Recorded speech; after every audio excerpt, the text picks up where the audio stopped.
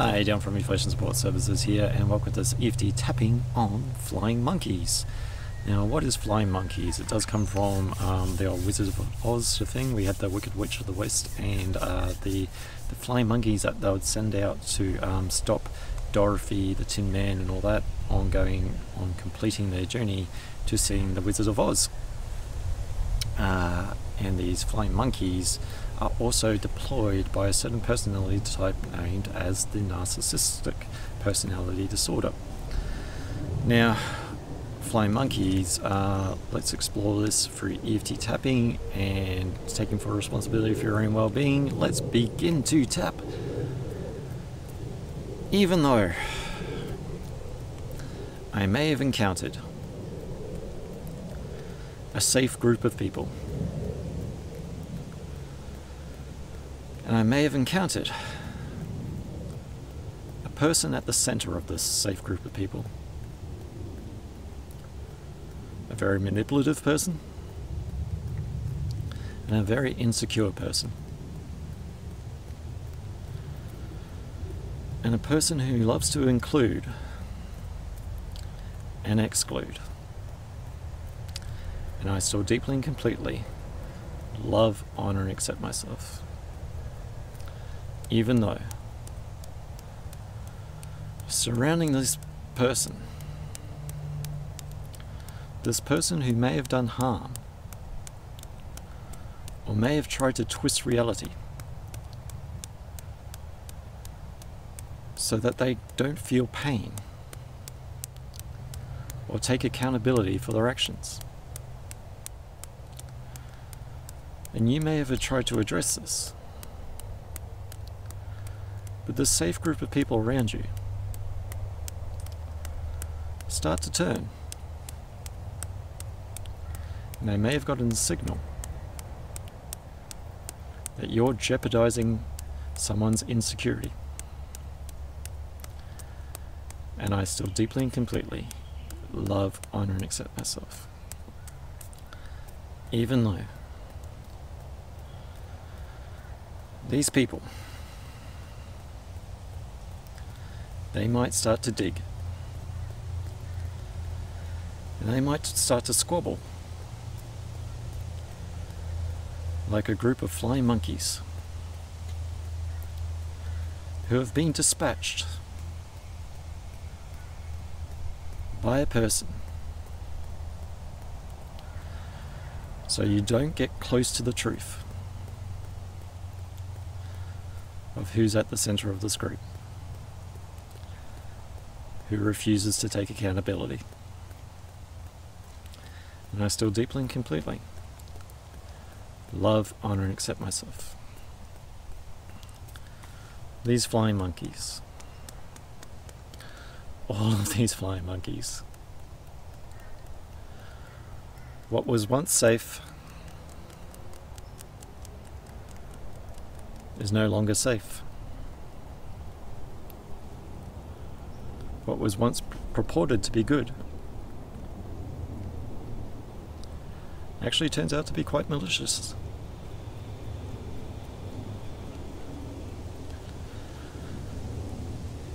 And you tend to find whenever I speak to a person or whatever I've said in good confidence somehow gets back to the person at the center of the group.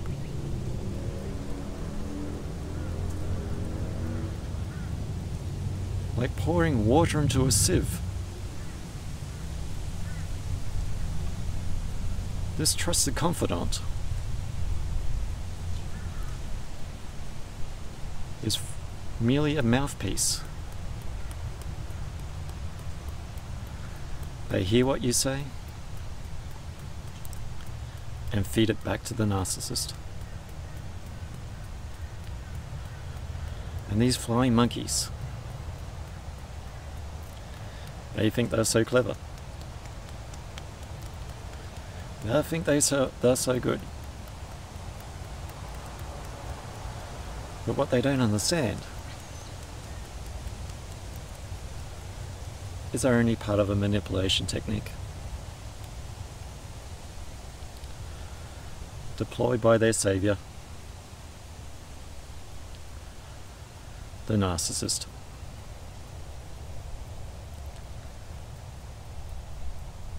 Who only sees themselves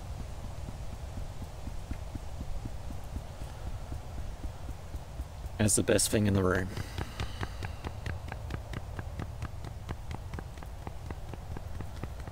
And these flying monkeys. like to deploy a smear campaign. They love to antagonize. So they can get a reaction. And justify their own actions.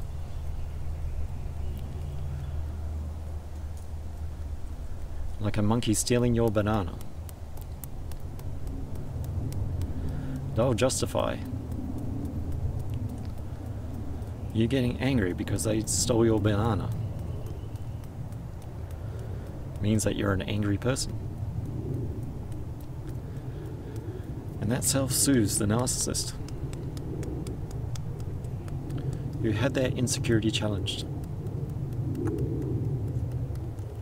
their vulnerabilities probed.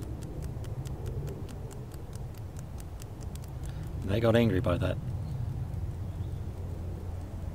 and deployed a smear campaign. And there's certain cheerleader flying monkeys that when there's no response, they start to antagonize so they can get a reaction.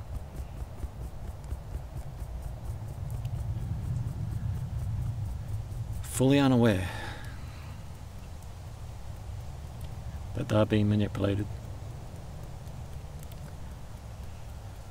That they're equally getting abused by a master puppet master.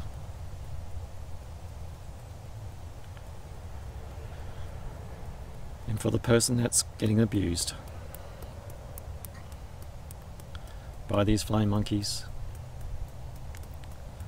by this narcissist. feels terribly unfair. It feels like a betrayal.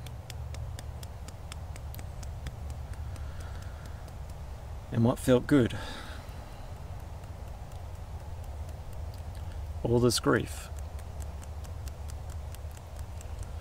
is grieving something that was never truly real in the first place. It was definitely alluring and it definitely lured you in.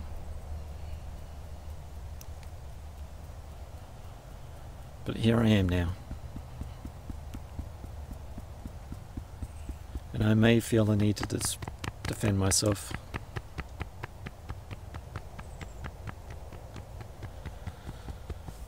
That defense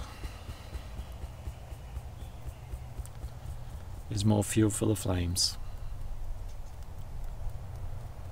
this crazy making behavior by the narcissist and their flying monkeys. Because they are one minded and they've made up their mind that I'm the bad person. And I hold true to my reality. and I keep record of this reality. A picture is worth a thousand words. A thousand words is worth a picture. And twisting all this reality can't change what's in black and white.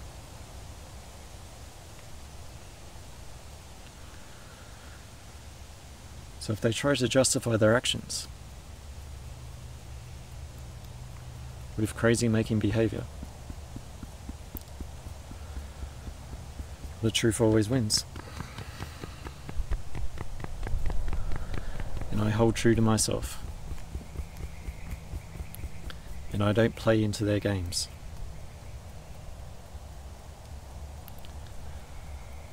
And I do what I need to do.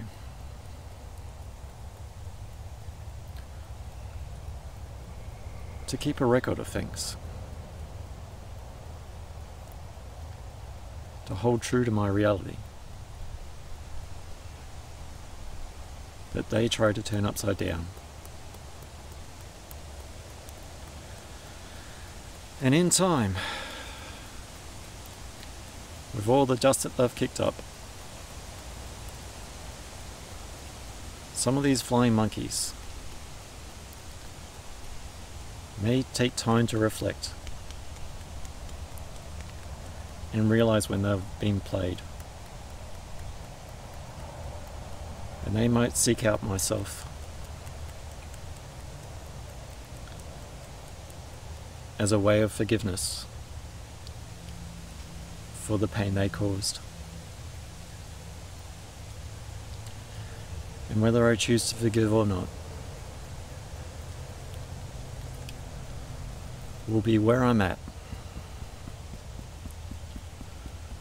on my recovery journey. from this narcissistic abuse and from this flying monkey abuse. And I shall not be rushed for an apology. I shall not rush be rushed for to be to give forgiveness.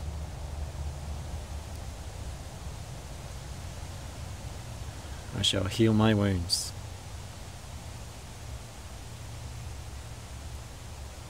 and hold true to myself. And let the monkeys be the monkeys.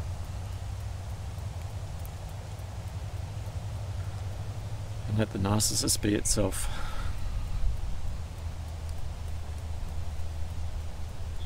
And I can be me. Authentically me in my body and spirit. Taking a deep breath in and out. So yes, flying monkeys. Uh, I've definitely encountered it many a time in my journeys, um, and it is a case of um, being very mindful of uh, what you say um, to some of these people that will be very friendly towards you, and this act of friendliness is more um, a way to get information to feedback to the narcissist who whose pride or whose um, sense of self was wounded and there are many um, of these flying monkeys that love to like kind of like a, a monkey with a stick like like to prod to, to, to get a reaction and whatever reaction that you give they'll justify um, that they weren't actually the instigators of that reaction so it's quite a sick little game, um, but once again, we can only um, play a game if we uh, entertain that. Uh, so sometimes it's not even playing the game and staying true to yourself, and sometimes it is uh, keeping a record of actual reality. because um, they love to twist it. so I'm down from Eflowtion Support Services, and I'll catch you in the next one. Bye for now.